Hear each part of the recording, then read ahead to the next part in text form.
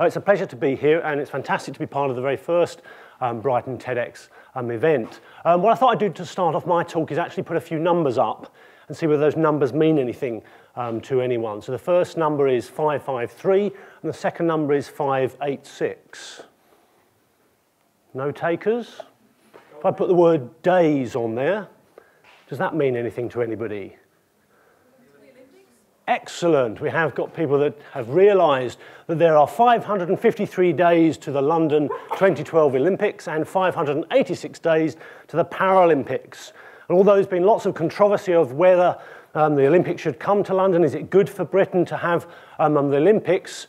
I think it's a reason to be cheerful um, in, in line with the um, topic of today, and particularly so if you look at Beijing and how well um, Team GB did. We did extremely well in the medals table, um, and therefore lots of optimism as far as I'm concerned um, for London 2012 that actually we may um, top um, at least some of the medals tables in different types of sports um, that we enter into. And if you're from a different country, I hope you do as well yourselves. But that leads me on to the question really of, of the talk, uh, talk today, and that is what makes a high performance athlete?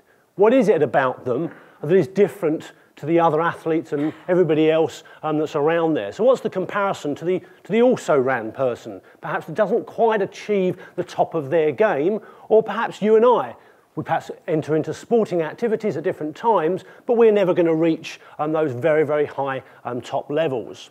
So what I've got for you first of all is just a few ideas that I have in terms of what's making this high performance athlete. And I'm just going to focus in on a few of those. So the first one is his training and technique. These athletes undergo tremendous training um, regimes. They really perfect the technique for that individual sport and spend many hours um, making sure they're really ready for the top of their game. Technology comes into play, whether it's the training as we're seeing in that picture um, there, or whether it's a new running shoe, is it the development of a new javelin, is it the differences and changes you see um, to the bicycle um, that they're going to be run, uh, uh, they're going to be riding. Is it the hard work that's involved, getting up at that 4.30 in the morning on that cold, wet day, and you're not really wanting to do it at all, but you know you absolutely have to to make sure that training um, really is in place? Is it the often forgotten about care and support team um, that's around them? All, virtually all of these athletes would say, without the support of my coach, my family, my friends and others, I wouldn't be able to ever get um, to that top point. And I think all of these very much are true, but there's a big missing gap down the bottom as far as I'm concerned, and that's the anatomy and the physiology. How does the anatomy and the physiology change in these developing athletes to enable those to be really at the top of their game? Is it something that is going to change as they make the cha uh, those training um, um, times and put all that effort in? Well, when we look at bodies of athletes, they always look really good, but are they absolutely designed for that specific sport? Is it different when you look at different types of sport um, um and different types of athletes? Are they truly different?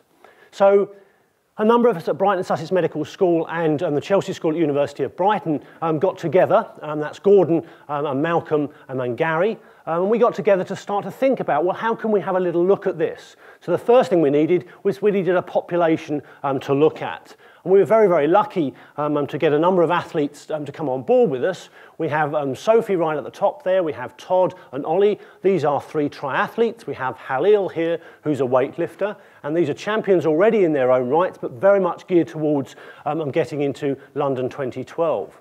We're also very proud to have Darren Kenny, um, who is a Paralympian himself. He's a cyclist, and he won four golds and one silver medal at Beijing. So he really is absolutely at the top of his game. So we've got the project team in place, we've got the athletes ready. What are we actually going to do with them? Well, we're going to scan them. We're going to scan them in our MRI scanner up at the University of Sussex campus, um, and look at different regions of their bodies. So we actually scan all of our athletes and then focus in on particular areas where we say, yeah, they use that region for that particular sport. Therefore, has the anatomy adapted in some way? Is it specialized in some way um, for what they're actually going to be doing? So for those of you who don't know what MRI actually means, it means magnetic resonance imaging. And basically that means is this um, bit of technology has a very massive, powerful magnet within it that really aligns all of the atoms in your body. That's then interpreted by a computer, and then you get an image out of it. So effectively what it's doing, and we have Ollie, one of our triathletes there, and basically you can go through artificial segments all the way through the body, different planes, all in different views, and then take a unique inside look at how that body um, actually is at that precise time. So in other words, um, we're doing it um, when a living um, person. So if we just focus in on um, Ollie's lower leg there, blow it up um, in the picture there just to show you what will essentially happen. So we can take a plane of section um, through the limb like that. It's um, essentially then removing that part of the tissue and then looking in from that direction that you're seeing there. And then we can then create an image of exactly what we're seeing. And obviously in that picture there, we're seeing the knee joint. If you then blow that up, MRI is fantastic for looking at various different soft tissues, particularly um, within that area. So we can denote, based on the colourings of all those greys, whites and blacks, exactly what we're looking at and therefore can analyse any changes that might be under, uh, undertaken um, because of a certain sport. So that, that line there, we can see a fat layer because it's a nice white, sort of very light grey, um, a slightly darker grey there for the muscle. Ligaments and tendons are showing you there in the more black colour. So lots of differences that we can see, and therefore we have um, something that we can um, analyse and actually start to see whether there's any differences between the athletes that we're looking at. But therefore we need comparisons. And the first comparison um, we need to think about is the athletes themselves, and we can do that. So Halil as a weightlifter, um, Todd as a triathlete, what differences might there between, be between those? And there's Todd um, there. What we also want to see about Todd, we can't really go back in time and say, what were you like? Before you started. That would be a much longer um, um, study time, and we aren't able to do that. So we have to come up with the normal, um, in inverted commas. And so we looked around the team. Who was going to volunteer to be the normal? Everyone holding themselves in, no, I don't think I'm that normal, um, really. So Malcolm, um, our consultant radiologist, decided, yeah, he'd go for it. I haven't given him a gold medal. I've given him a gold star, though, uh, for being top of the team to, to volunteer. So in addition to scanning all of our athletes, we scanned um, Malcolm um, as well, or he scanned himself because he's the head of the unit um, anyway. Um, so then we're able to make comparisons. So obviously time is short this morning, so I just thought I'd focus in on one particular region of the body, and that's the back. And we're looking at um, Todd's back in that picture there. The back is a completely underestimated region of your bodies. You're using it all the time in all the different functions that you do. Me standing here, if you sit upright, if you do any sort of sport, if you're lifting, shopping, you are using your back. And in fact, we lose about five to six million working days a year in the UK because of back problems. So it's a really important region.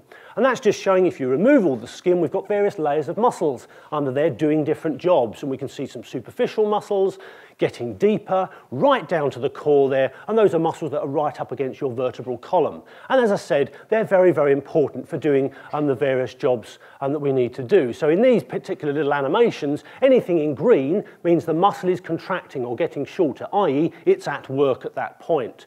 So as that skeleton flexes forward and then extends its back again, that means those muscles are tremendously important for bringing you up into that erect um, position. Likewise, if I bend from one side to the other, and we can see that again in this picture here, you're using different sets of muscles to enable you to be able to do that. So the muscles are absolutely key to knowing whether we've got um, the right sort of movements and this, um, whether we're going to see any differences in our athletes. So as well as I said of, of comparing to the norm, we want to see where there's any differences. And here we have Ollie doing a long distance swim as part of his triathlon, and we have Halil there going to be lifting weights. Two very, very different sports. This is an endurance event. This is an explosive non-endurance event. You just need a very um, a, an enormous amount of, of effort at one peak time. So what's the difference that we can see um, with those? So here we are. Here's a scan of Malcolm's back. This is our normal um, sample that we're seeing here. And I'm not sure how good the contrast is from your direction. Effectively, it would be like taking the plane of section, coming through the body um, like that, and then looking from that back um, region. And this is the main back muscles here. These are the erector muscles that are enabling Malcolm to stand upright, down into the gluteal muscles in the back side um, um there. And we can see that by the various colors that we're looking at. This rather large area on the side here is fat tissue. which doesn't please Malcolm at all. He thought he was quite a thin chap um, by that. This is the bit where all men try and lie and say, oh, it's my external obliques showing um, um, there. It's truly not. These are the love handles. Um, it doesn't disguise any of those sorts of things. So we can see that um, particular scan. If we then take a section through this direction here and look from below, we see a slightly different view. So now this would be at the front of the body, i.e. just here, and this would be at the back, just here. And then we're now looking through um, the body. So things to note here is, again, that large area of fat all the way around. Um, sorry, Malcolm. Um, he'll kill me now. Um, but look at these muscles here. These are the um, big erector muscles. These are these ones that we're looking at here. Quite large muscles, quite robust, we would think, but look how much pattern they are with marbling of connective tissues and fat within them. That means they're doing a job, but they're probably not as good um, as they could be, but absolutely fine for what Malcolm does. But let's then compare that with Halil, who is our weightlifter. What differences are we going to see? Well, in his back, the first thing to say is the muscle is extensive in terms of it going really quite a long way across the body. It's very much sculpted. You can see a defined shape to it. Um, the gluteal muscles are also extremely well um, um, developed. Surprisingly, though, look at the layer of fat that's still there. So you'd say this is an athlete at the top of their game, but they've got a layer of fat that's there. What this is demonstrating to you is you need the power of those muscles to do the explosive activity, but it actually doesn't mean anything. There's no consequence to having some fat around that. It's not stopping that activity um, um, um, taking place. And so if we then do the same section through Halil and look, don't worry about the sort of contrast sort of differences, but look down here, we can see those areas of, of fat in place, but also look at these muscles. Hardly any real connective tissues um, and fat layers visible within them. They're the real fillet steak now of the back. Um, so they're the pure muscle and pure for power, for what is absolutely needed um, for Halil to do that. And so when you look at his back, you can see all of those muscles absolutely at work, enabling him to lift the bar. But more importantly, if you look from this side view um, version, we can see here that the back is absolutely important in making sure he can maintain his posture as he's bringing those weights up. But more importantly, also the gluteal muscles are going to enable him to really lift through and take that bar above his, his, head, as well as obviously the arms and the legs being very important. So perfectly designed for what he needs to be able to um, do. So how different is that when we then look at um, our triathletes? And the triathletes, therefore, um, um, are doing different types of sports. So there's Malcolm's scan again. Now let's put Ollie's scan up. Ollie's one of our triathletes. And again, don't worry about the color, slight color differences. Look at some of the other differences. Look how massive these um, back muscles are and how much they extend across the length of the back. Also, look at these other muscles um, that are around here as well, the rectus abdominis muscles at the front, what everyone wants, the six-pack um, that is there, and the oblique muscles sitting at the side. But look at the fat level. Hardly any at all there, and when you move up to this area here, absolutely nothing at that front region um, there. So in terms of importance for um, um, Ollie, he doesn't want to drag any excess um, weight around with him um, at all. So it's very, very important. But so what other muscles is he using? So this is just showing you the um, rectus abdominis muscle at the front there. He's using that muscle much more. So when he does something like a dive into a pool, he's using all of these muscles that are around to create the shape that he needs to be able to maintain that shape. And then because it's an endurance event and he's going to have to keep on going, those muscles have to be terribly lean. He doesn't want to drag any other weight with him. So his anatomy is quite different. And when you look at this picture here, you can certainly see some of those other muscles at work. So this is, I flipped the image around here to show you, they're the back muscles, which we can see here.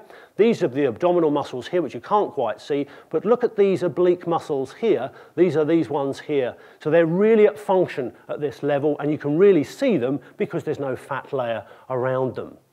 So therefore, when we look at the two different backs, they're perfectly designed for what they want to do, but they're quite different. So when we look at Todd's back here, you can see beautifully developed muscles within the back. Um, um, they're what we'd call sort of a cut muscle because there's very little fat over them, perfectly designed for what they do. Look at Halil's back, look how dramatically different the bulk is for those particular muscles because you need the power associated with them. And the MRI imaging has really shown us how that has actually um, changed because you're able to look completely through. So that's fine for normal athletes, but how about, how about someone that's perhaps been in an accident or a trauma? So here we have Darren. Darren um, Kenny was involved in a serious um, cycle accident when he was 18, um, and it meant he couldn't really use the side, one side of his body very well. And therefore, for us, that was really quite exciting to be able to look at and say, okay, what's happened to the anatomy there? Because we're obviously going to see some differences um, within Darren. So he came back to cycling and got obviously to the top level of his game. You look at the difference between these two, though, I can't tell any difference. You might be able to find tiny little differences, but I don't really think, could you tell me which side of his body um, was um, involved in the accident more or, or injured more, or from these ones down here? It shows the massive amount of adaptation anatomy can do. So it can really, really start preparing and changing itself to the demands that we're going to place on it. So I would hope that that means that you've got from uh, the message this morning is that our bodies really can develop to, the, to this ultimate goal, um, to the anatomy adapting itself to get really to that top um, um, level. And therefore, I think I'm pretty optimistic that maybe they won't all get medals, but they'll certainly be able to achieve right at the top of their game. But what does that mean for you and I? we might partake in, in sport. And we just heard from the last speaker um, that we enjoy it when we're, we're doing some sport. So it might be um, different types of sport you do. You might have had too many mince pies at Christmas and therefore deciding I must join a fitness club and get a little bit rid of this weight. That may be um, the case for everyone. But there certainly is a reason to be cheerful in 2011. As one um, company um, in, in the States puts it, if you've got a body, you're a potential athlete. What I would say to you is you might not want to be at the top of these games, but whatever you're going to do, your anatomy is going to be up for that challenge. Thank you very much.